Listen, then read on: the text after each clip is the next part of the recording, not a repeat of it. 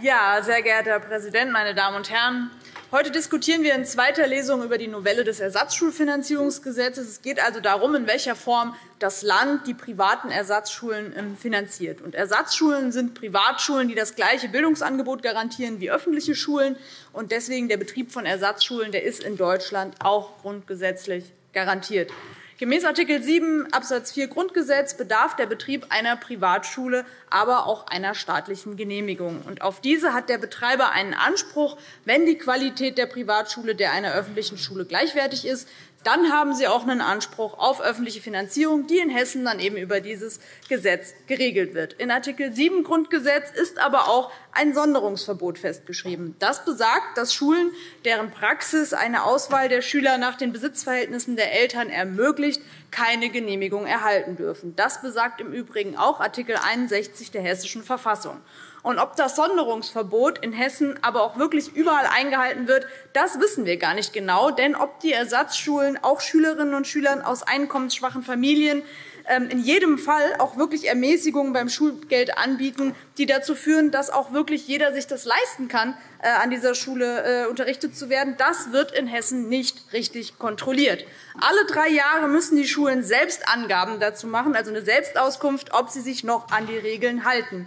Und aus der Antwort der Landesregierung auf unsere Große Anfrage aus dem März letzten Jahres geht hervor, dass das Land gar nicht weiß, welches Schulgeld von den jeweiligen Privat äh, also Ersatzschulen erhoben wird, geschweige denn, welche Ermäßigungen für Kinder aus einkommensschwachen Familien vorgesehen sind. Hier gibt es ein systematisches Desinteresse zulasten von benachteiligten Schülerinnen und Schülern. Und für uns als LINKE gilt, bevor man noch mehr öffentliche Mittel für Privatschulen ausgeben will, muss man zunächst sicherstellen, dass das Sonderungsverbot überall in Hessen auch wirklich eingehalten wird. Meine Damen und Herren.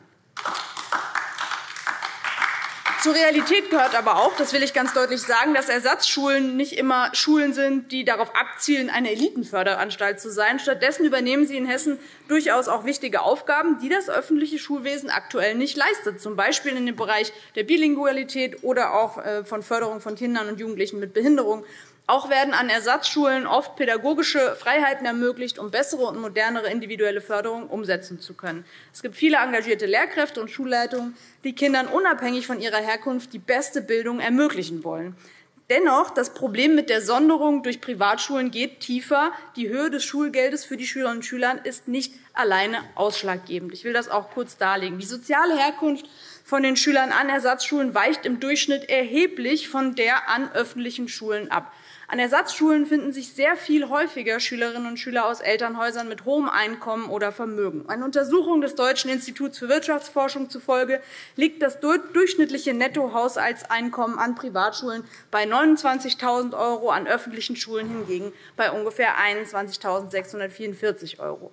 Und während bei Privatschulen nur 9% der Haushalte Sozialleistungen beziehen, sind es bei öffentlichen Schulen 20% einen Migrationshintergrund haben 11% der Kinder und Jugendlichen an Privatschulen, an öffentlichen Schulen hingegen sind es 23% Angesichts dieser Realität muss man schon ähm, muss man feststellen, dass eine Sonderung stattfindet im Durchschnitt, auch wenn das vielleicht von den einzelnen Schulen überhaupt nicht gewollt wird.